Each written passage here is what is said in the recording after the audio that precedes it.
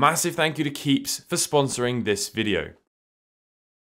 Hey everyone, how's it going? Elliot here and welcome to the Retro Future. A lot of people ask me how I get my little bargain bits that I manage to find and make videos on. Well, I look around. I posted an ad recently on Facebook Marketplace asking if anyone had any faulty Nintendo Switches and lo and behold, I managed to get my hands on one for 60 British pounds. 60 quid, yeah? Uh, yeah, I think that's what she. Uh, uh, I'm glad I put a post up because often people have these things sitting around and.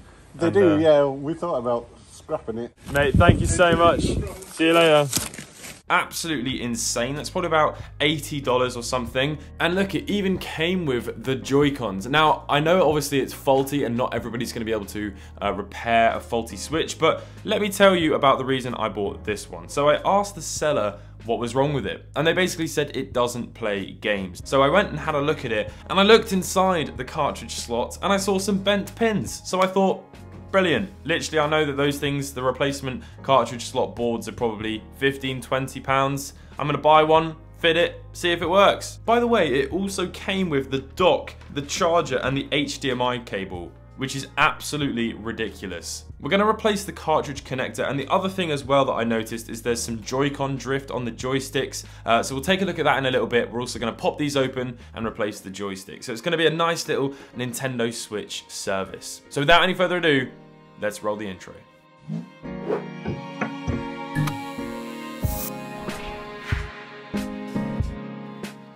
So just before we get started, let me show you the problem that we're dealing with. So you can see it turns on and it's absolutely fine. If I go to plug in a game, it does not read it.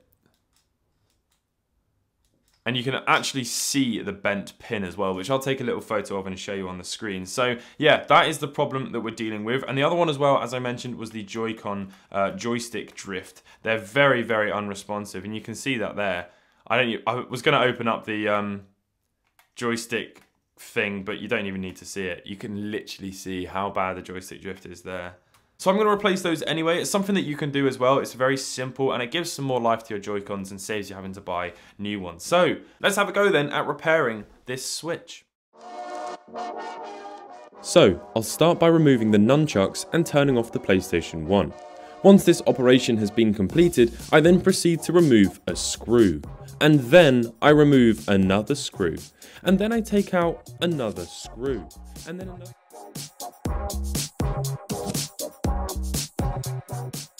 Another screw then needs to be removed, followed by another screw. Once that screw has been removed, remove the next. Then you lift the back off. Wow, it's dusty. I'm playing with someone else's skin cells. Then you have to remove a screw. Another screw, okay, I'll stop. Then lift off the metal thing and unplug the battery because batteries are scary. Then we remove the cooling system. Wow, that's cool. And there's a tumbleweed for my bad jokes.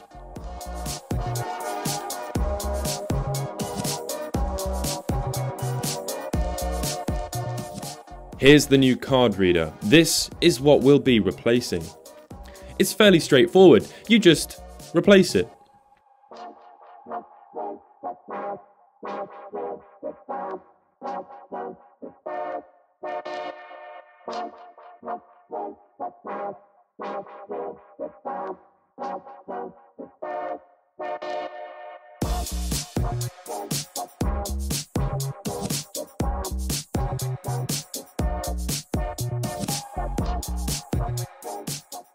And then we can test it. And wow, would you look at that? It doesn't work. Oh yes, it does.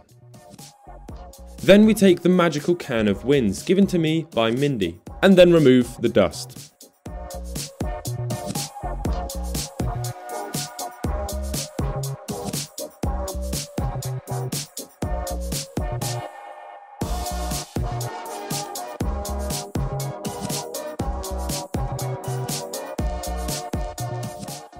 After that, it's a case of putting the case back on.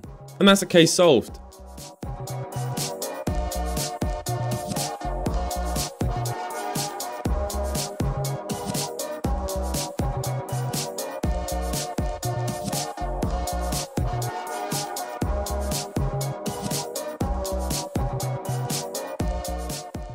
And that's that.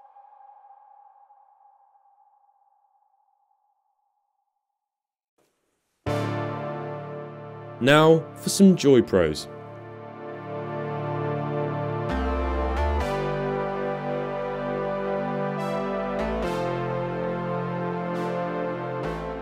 These appear scary to work on, but they're actually very straightforward and are mostly made up of plastic. And plastic's not that scary. Just be sure to remove this battery with extreme caution as it could kill you horribly.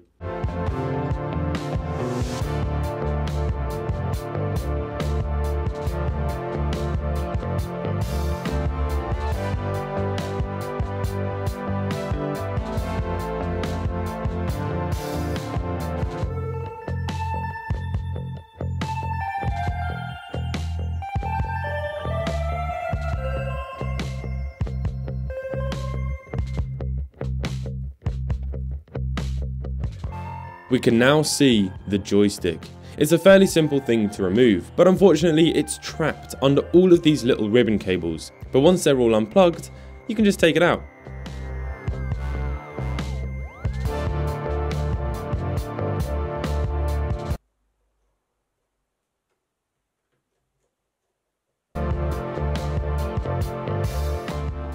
I bought a 2 pack of joysticks on eBay for a tenner, so you can see why it's worth fixing your old ones instead of buying new ones.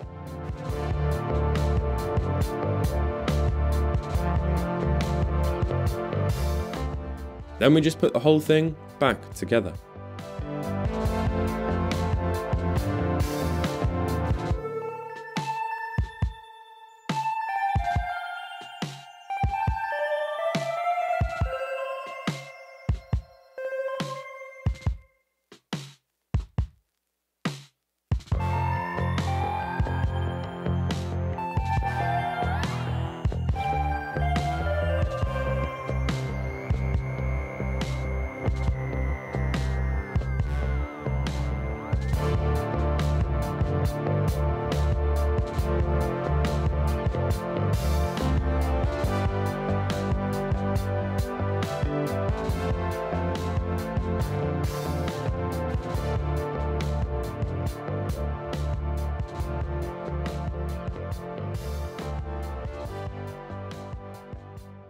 I did it! I finally managed to get a faulty cartridge reader and joystick.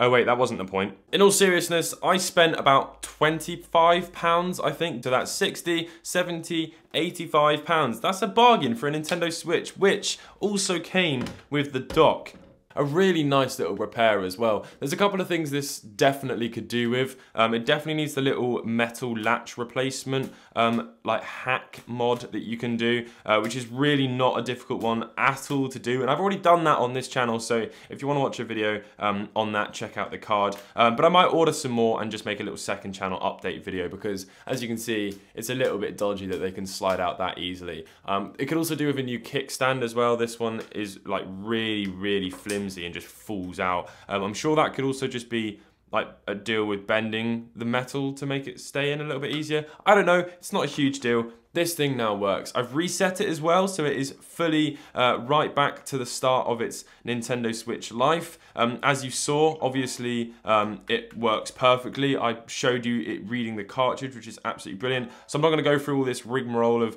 uh, setting the thing up. Eventually, this is going to be up on my eBay for sale, um, which I'll be announcing on my Twitter. So uh, yeah, just follow me on Twitter and check it out. Massive thank you for everyone watching this video. Um, I think it's a really good lesson to show that you can give things a new new lease of life with fairly low experience. It's not like I did any real repair here. It's just sort of swapping out something broken for something um, that works and it's quite an inexpensive and easy thing to do. So I recommend you should try it. If you can don't take apart your working switch. That's a bad idea. But see if you've got any faulty switches kicking about on Facebook Marketplace. Massive thank you to watching this video and a huge thank you to Keeps for sponsoring this video. Did you know two out of three guys will experience male pattern baldness before the age of 35 the best way to prevent hair loss is to do something about it while you still have hair with Keeps, a licensed doctor will review your information online and recommend the right hair loss treatment plan for you. Then the treatment is shipped directly to your door every three months. We all make jokes about receding hairline and baldness, but those sorts of things can greatly affect a man's mental health and confidence. Check out Keeps through the link in the description of this video or go to www.keeps.com forward slash TRF and start the process. Because with hair loss, prevention is key. I'll catch you all in the next one. Goodbye.